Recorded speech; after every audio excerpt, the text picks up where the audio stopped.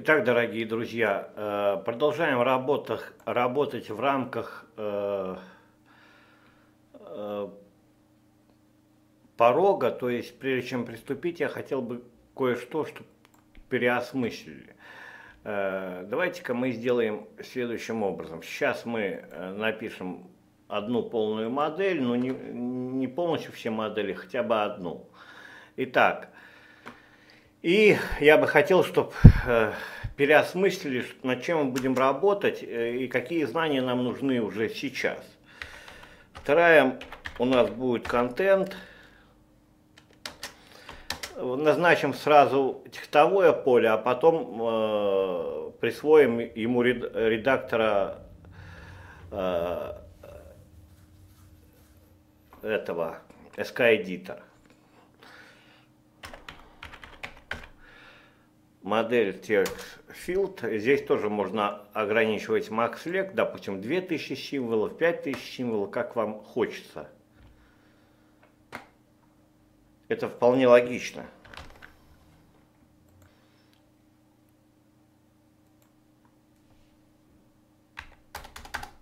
Ограничим 5000 символов. Далее, э, как мы видим, нам среда подсказывает, мы возьмем бланк истины, сейчас объясним, вы должны это знать уже, да, что это такое.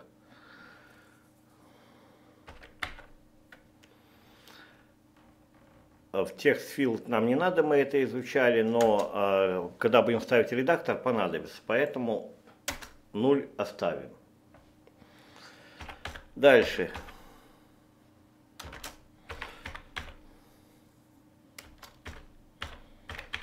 Дата создания.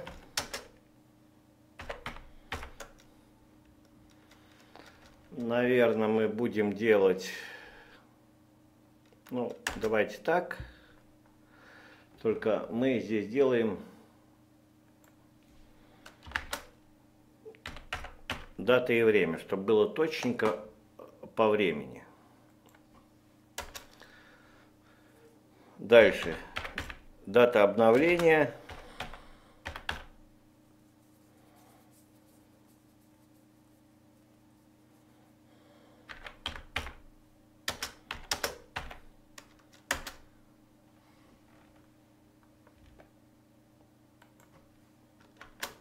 Дальше. Э, автор.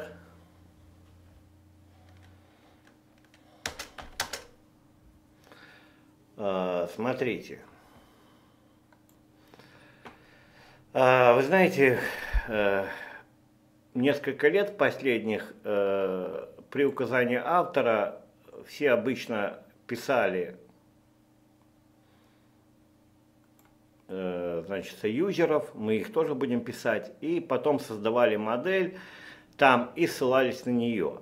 Все-таки самая лучшая практика, я считаю, это ссылаться на э, внутреннюю модель. В любом случае, то, что мы напишем, она будет расширять та модель. Но вопрос в том, что нам-то надо, по сути дела, логин. Логин мы им будем... А логин есть э, у пользователя однозначно, который у нас по умолчанию. Поэтому э, тогда вообще никакой головной боли. Почему мы просто, не надо создавать каких-то там абстрактных моделей сейчас, ничего это не нужно. Все делаем проще. Из э, Django импортируем Django, нам надо Django а знаете, что мы сделаем? Мы сделаем попроще. Мы сделаем попроще. Мы просто-напросто сейчас э, сделаем попроще. Э,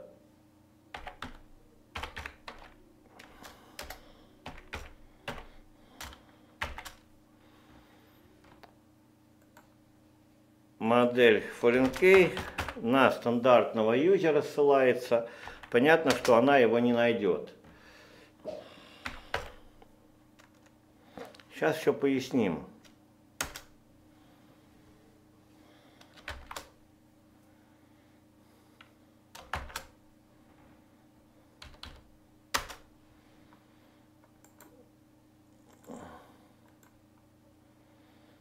Щи. Гав-гав. Не хочет искать. Ну да, надо учить. Ладно. Будем писать ручками.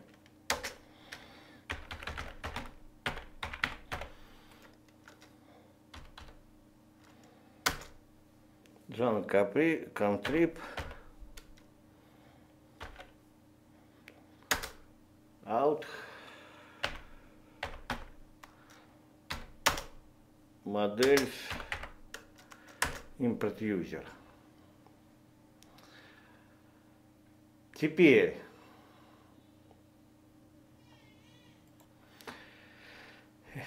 Итак, э, давайте еще дальше напишем, потом уже разберем.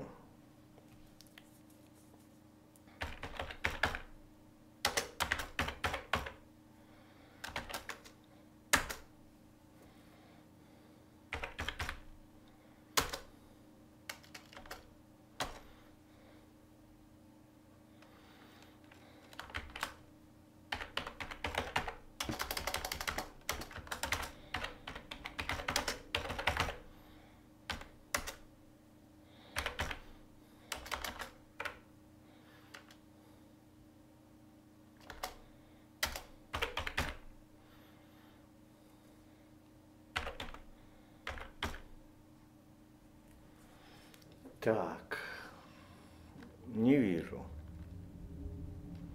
Во-первых, неправильно написал.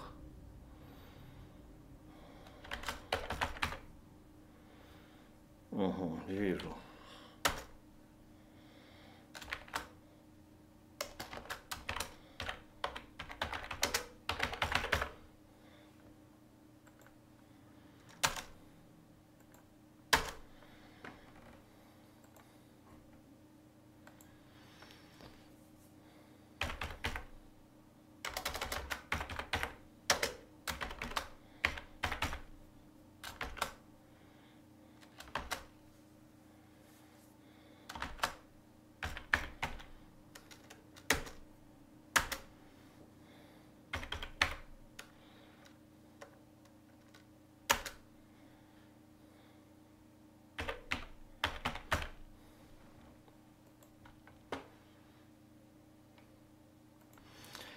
Здесь мы еще кое-что сейчас добавим, потом объясним. Да, я заострю внимание, чтобы было над чем работать.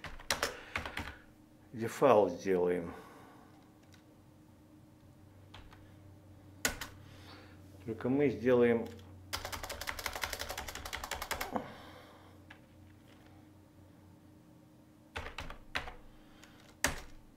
таймзона new. Значит, нам надо ее импортировать.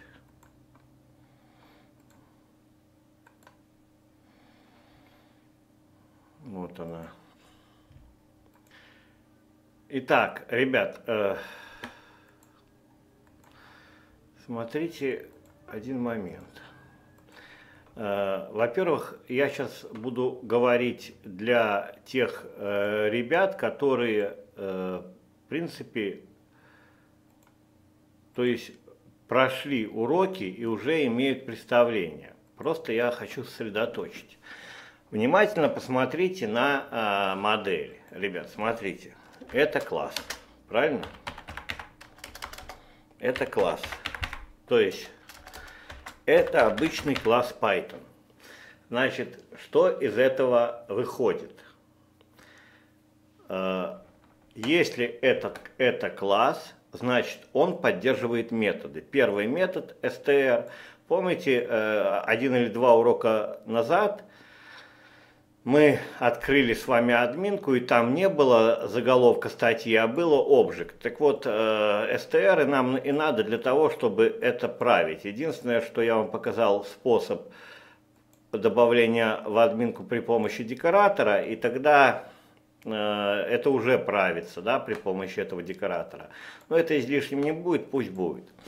Значит, он поддерживает методы. Я к чему говорю?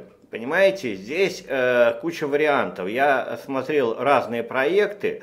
Э, в большинстве своем э, кто-то старается делать э, в виде э, представлений, да, те же лайки, которые нам надо при, пригодятся, по счеты, да, то есть то, что нам надо. Но это мы будем изучать э, при помощи Django и Ajax, в сумме делается, чтобы не было перезагрузки страницы. Но э, здесь дело в другом. Мы с вами будем все это делать э, через модель. Это удобно. Почему? Потому что мы решили с вами, допустим, к посту или к комментариям надо лайки. То есть у нас сомнений нет, значит, э, можно смело прописывать модели. Почему? Потому что это класс Python. Теперь э, давайте посмотрим на саму модель. В принципе, э, чтобы не рыться в виртуальном окружении,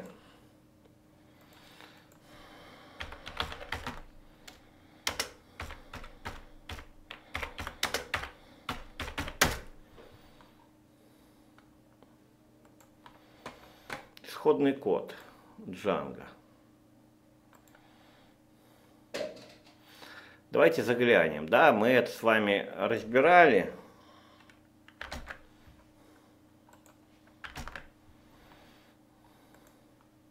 Тем не менее, еще раз заглянем.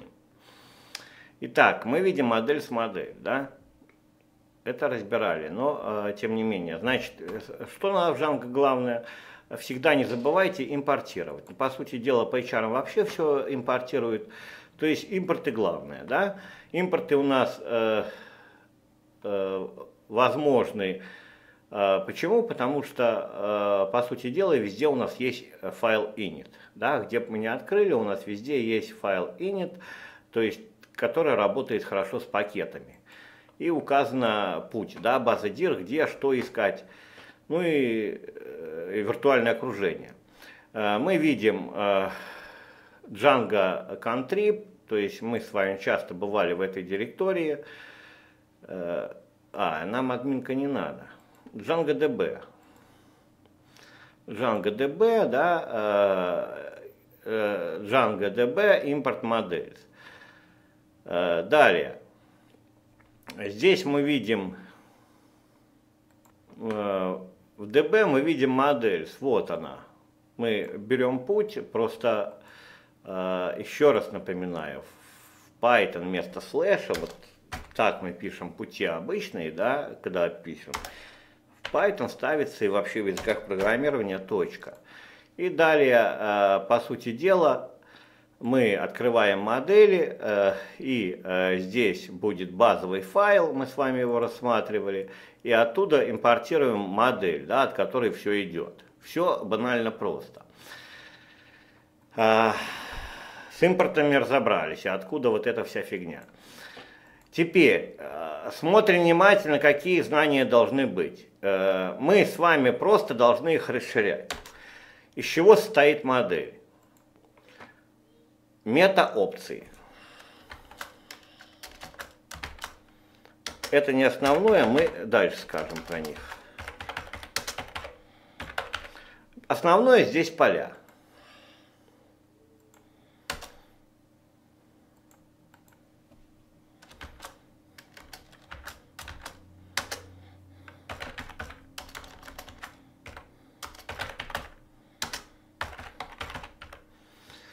Поля модели. Ну, э, не буду сейчас искать, э, вы сами можете в документации проискать, там модель и название полей. Нам сейчас будет, нас будет интересовать сама документация.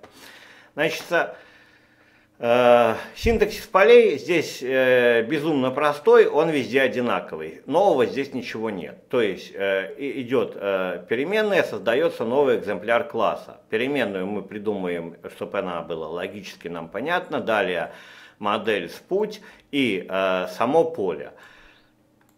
Мы, э, я рекомендую вам э, постоянно, постоянно просматривать.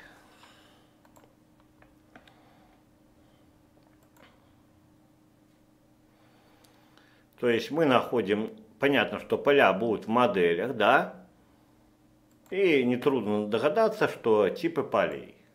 Мы их с вами тоже рассматривали, э, рассматривали опции, э, на что я заострил внимание. Э, самое главное не поля, самое главное в чем разобраться, помните, я вам говорил в уроках, ребята, опции должны отлетать. То есть э, здесь справка у вас должна постоянно открыта быть, особенно первое время. Почему? Потому что важно то, что вот здесь, в скобочках.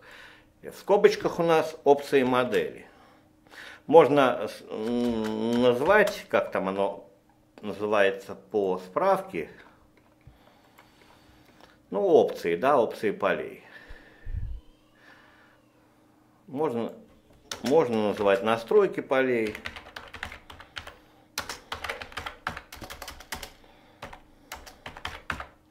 Полей. Они разные, да?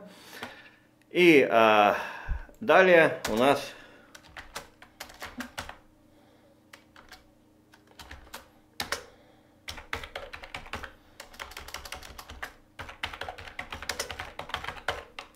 методы модели.